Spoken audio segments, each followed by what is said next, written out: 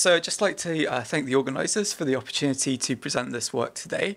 Uh, so the work I'm going to be talking about is basically something where we were trying to use topological features of the data to perform parameter inference in a Bayesian framework.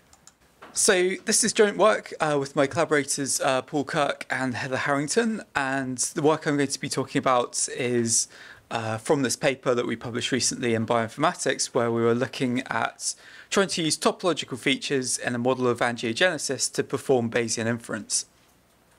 Uh, so I have quite a few things to get through and not a huge amount of time. So I'll give a quick outline, which is I'm going to talk about the angiogenesis model very briefly and then introduce ABC. I'm not sure how necessary the introduction to ABC is in a conference about expensive inference in expensive systems, but um, go over ABC briefly and then talk about topological data analysis and how we've applied that in the ABC framework.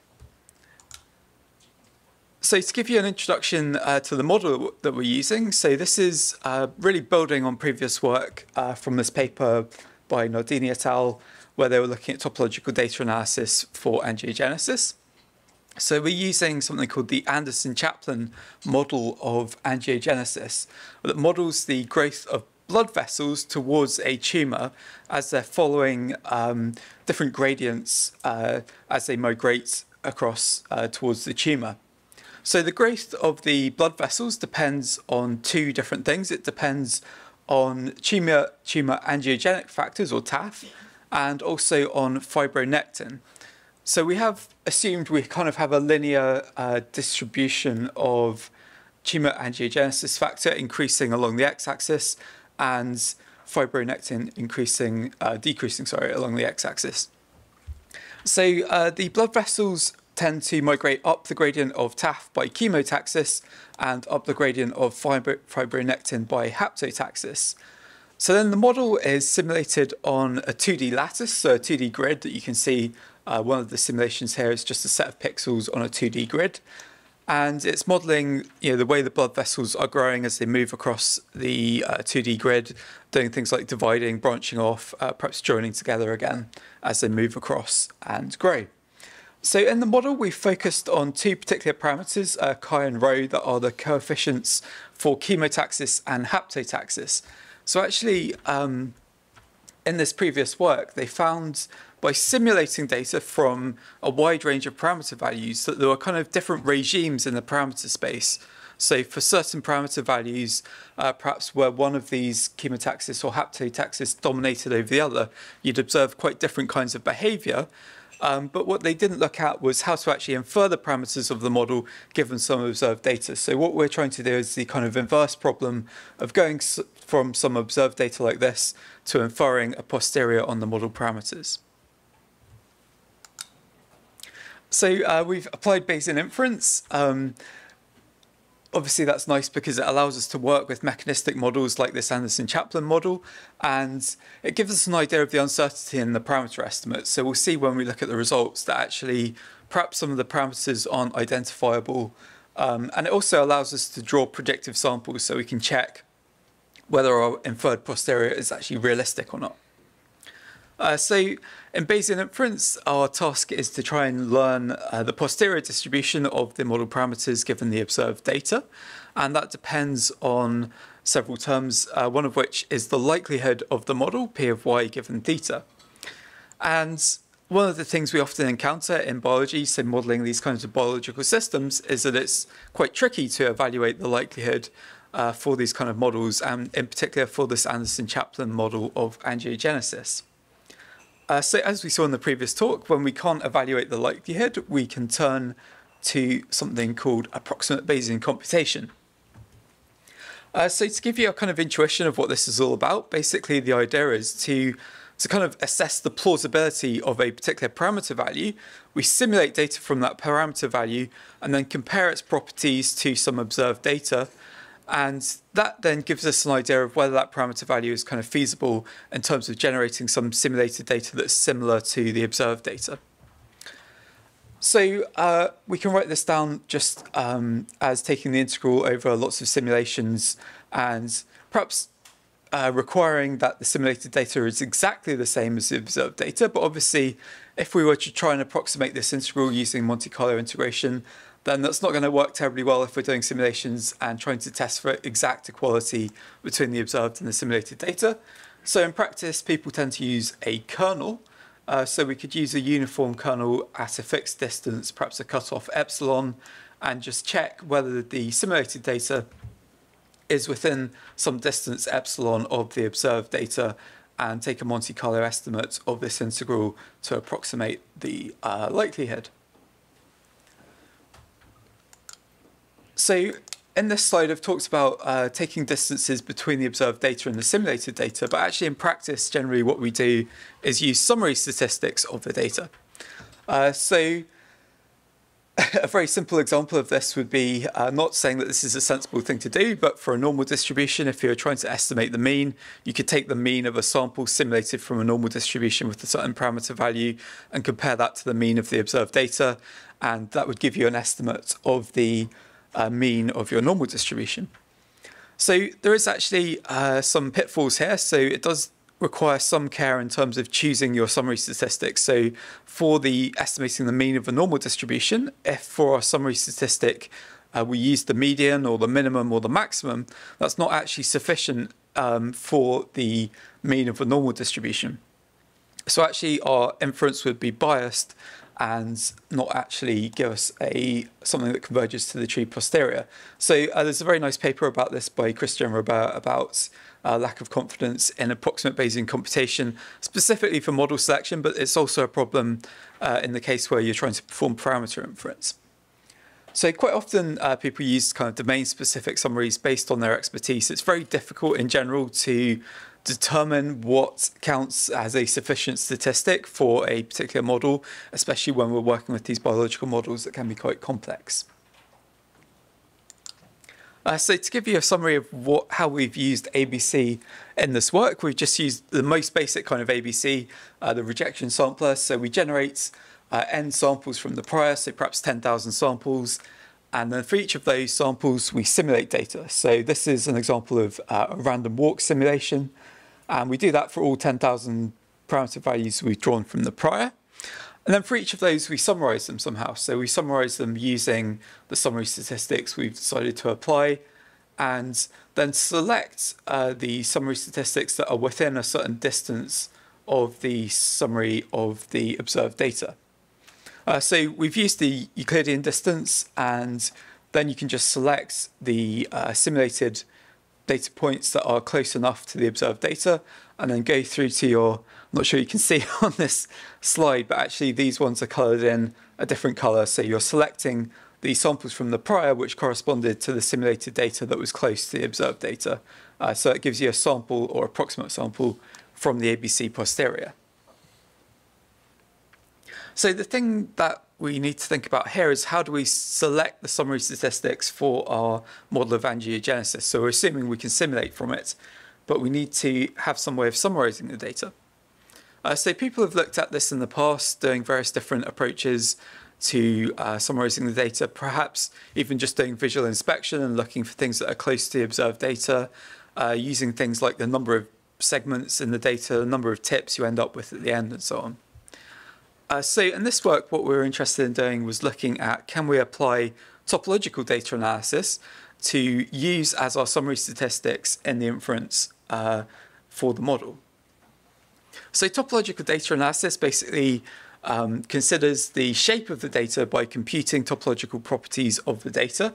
And one particular kind of topological data analysis, which is almost synonymous with topological data analysis, is something called persistent homology. Uh, so this characterizes the features of our topological space and their persistence across scales in the data. So we use homology to characterize uh, the topological features of the data. So as an example, if we have a torus, then if we're looking in dimension zero, uh, the elements of the homology groups correspond to the connected components. So for a torus, we have just one connected component, and so we have one element of the homology group in dimension zero. In dimension one, you can see we have two loops, so this loop here and this one going around here. And these two loops then mean that we have two elements of the uh, homology group in dimension 1. And then in dimension 2, if this torus is hollow, we have a void inside of the torus and one element in the homology group in dimension 2.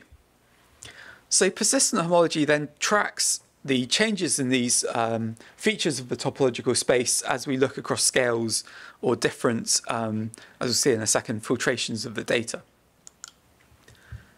So in persistent homology, we considered the birth and death of elements of these homology groups in some dimension over a filtration that we define on the data. Uh, so to give you an example of what this might look like in practice, in our particular uh, data, so as an example of what the input data might look like, uh, if we have some data that looks like this, we can define a filtration which just sweeps from left to right across the data. So we're moving um, along the x-axis in the data and including more and more of the data as we go from left to right. And then what the persistent homology does is it actually tracks the birth and death of the elements of the homology groups in each dimension as we filter across the data. So in this example, we have one element in the uh, homology group of dimension zero, which is a single connected component that's born at time zero. And then as we sweep across, you can see at time three roughly, uh, in the filtration, we have our first uh, component in dimension one, which is a loop being born, and then it continues and both of these persist as we move across to the end of the filtration.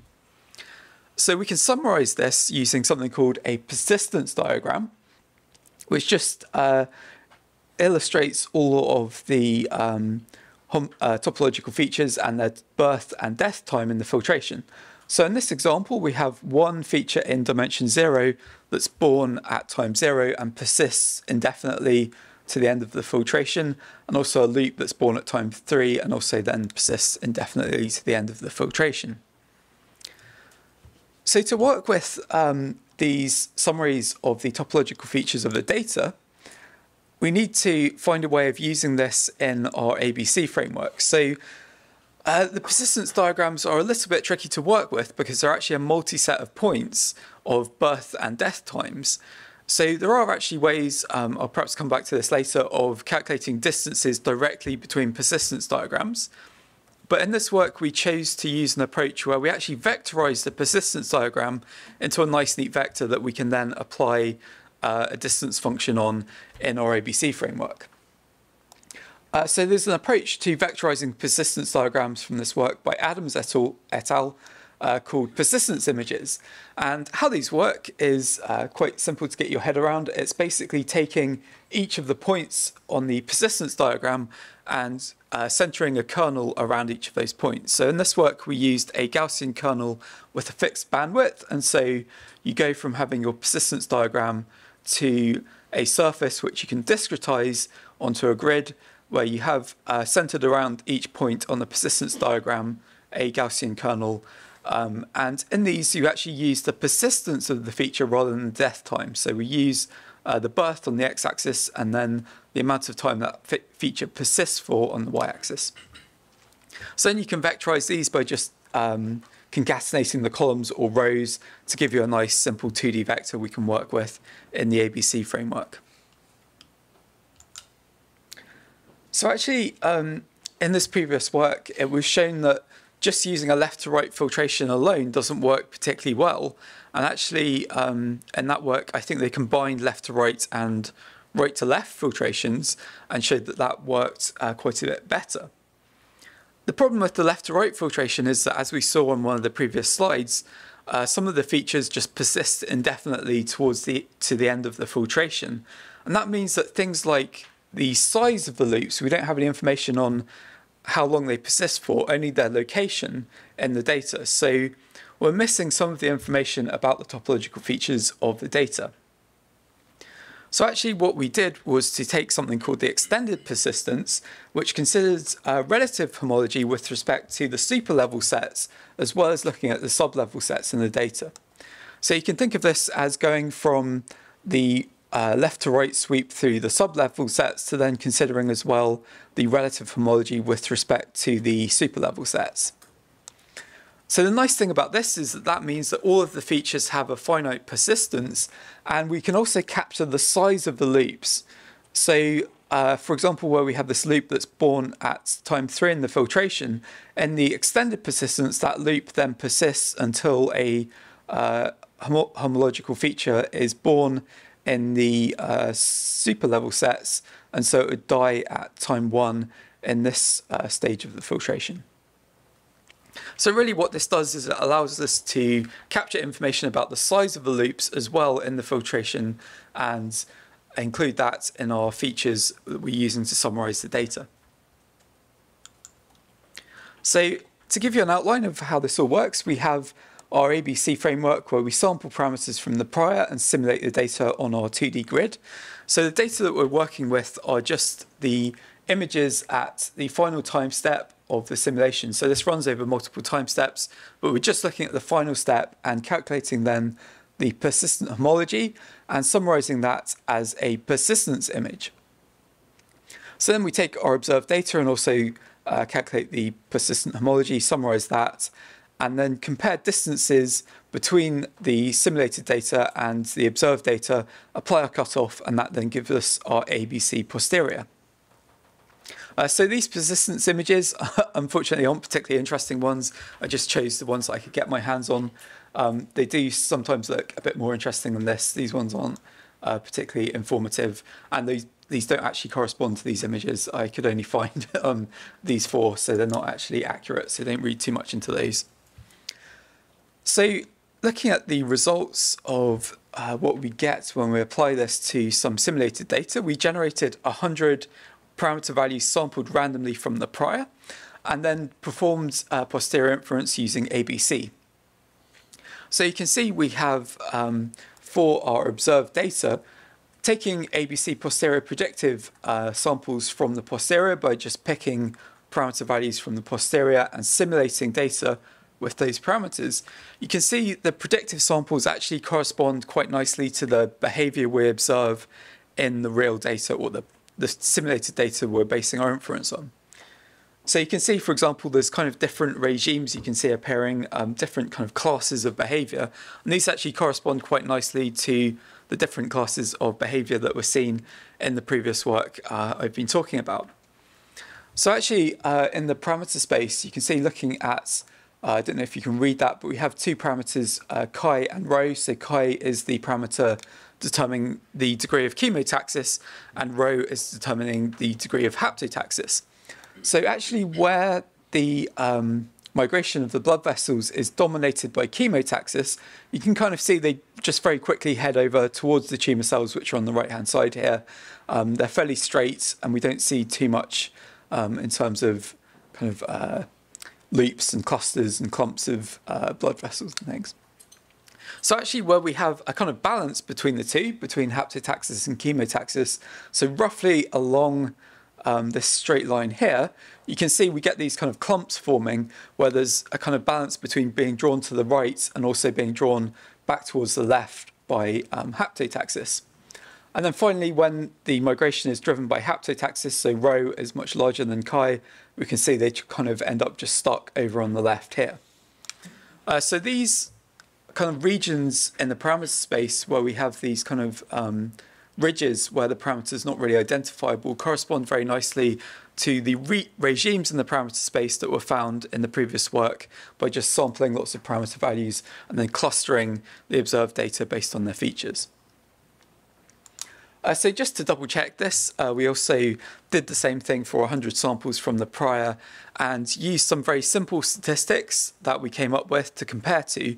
So the statistics we used were just the mean x coordinate, uh, the mean y coordinate, uh, the maximum x coordinate, and the total number of pixels. So treating this as a 2D image, um, which is a binary image, so each point is either on or off, just taking the fraction of occupied pixels.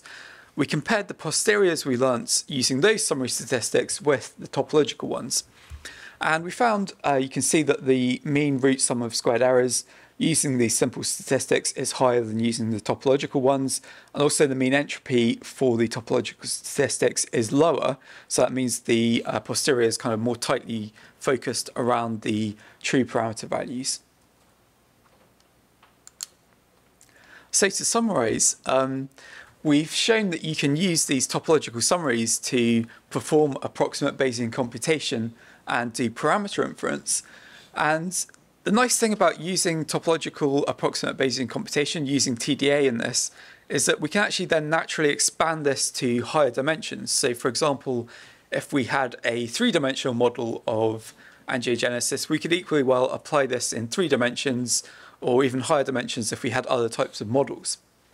The other nice thing about this is that it's applicable also to other types of data. So we could perform inference on models of networks, for example, and use uh, topological data analysis and persistent homology on the network to learn parameters of a model for a particular network. So there are a couple of tricky things here. So we haven't really kind of solved um, all of the problems that you might encounter. So obviously the choice of filtration is very important in not only in this work, but also in any kind of topological data analysis. So how do you decide, you know, are you going to use the left to right filtration?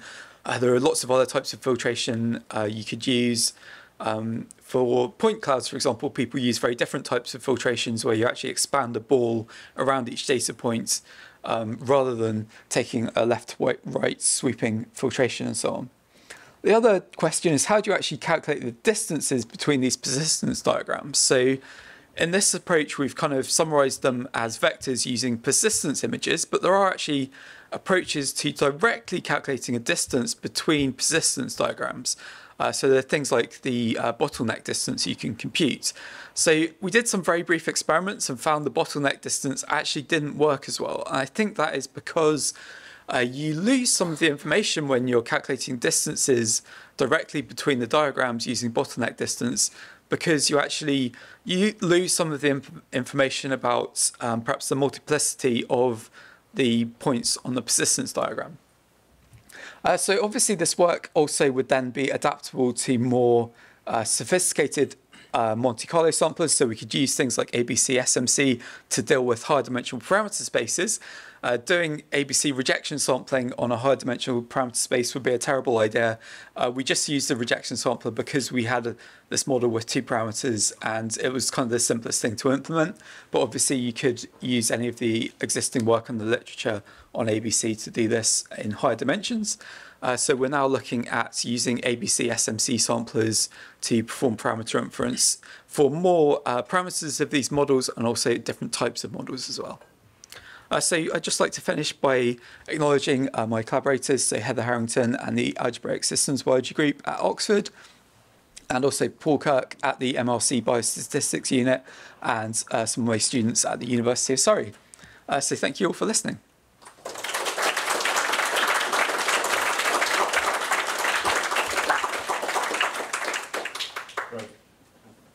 Thanks, Tom. Um, does anyone have any questions?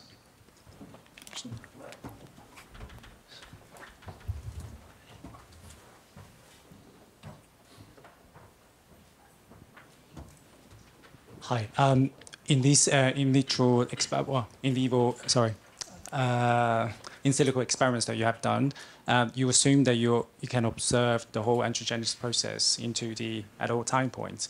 I wonder if you uh, say that you only observe the um, them at uh, spe specific intervals, and how would that change the posterior, and mm-hmm. how would the, these, let's say, misspecification in the posterior would change in your prediction in the end? Would that even matter?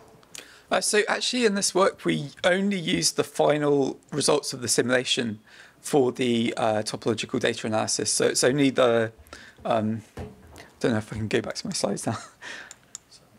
um, so it's only, it's only the final simulated image on the 2D grid.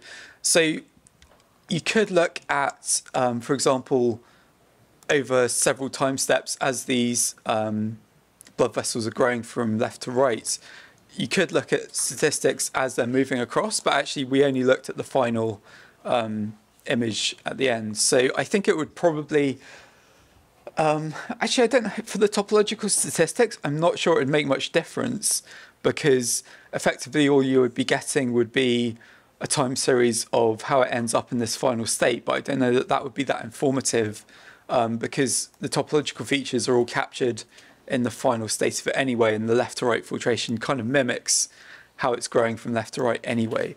I think with other statistics, so other ones that people have typically used in the literature, it is actually useful to have all of the time points and that might actually be quite crucial. But one of the nice things about what we've done is that you don't need to observe all the time points.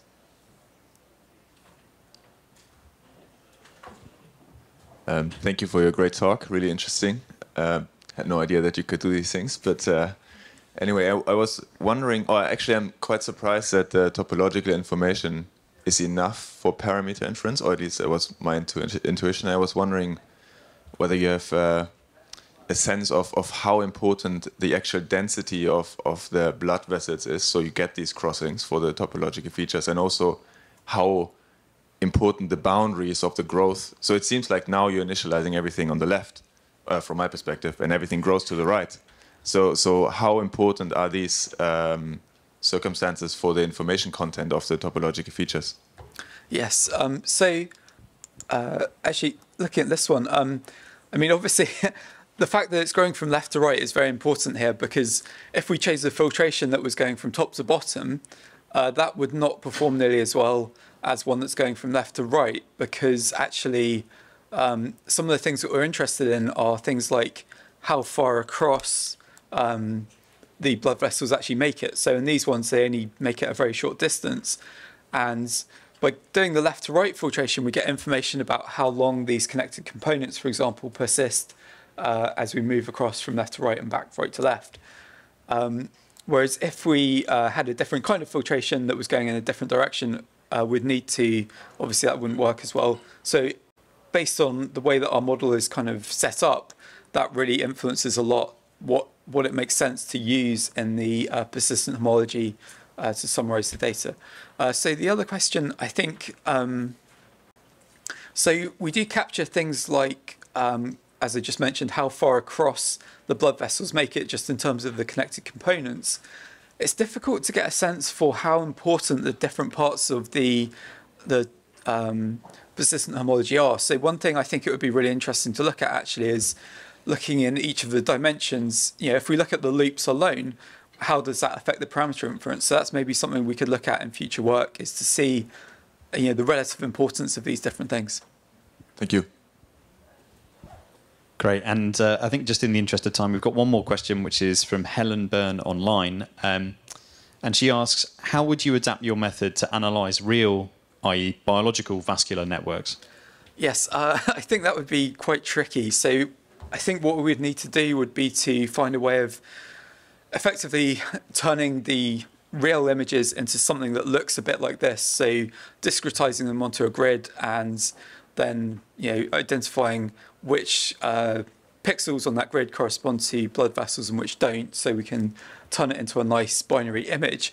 I think just doing that alone would be quite a complex thing to do. So there's a lot of variables involved in just doing that. And then also, I think you would need to think about, in terms of the scale, um, so is the scale of the the images you're looking at, you know, um, are they all taken on the same scale? Are the ones that are more zoomed out or zoomed in than others? I think working with actual real biological data, this would be much more complex.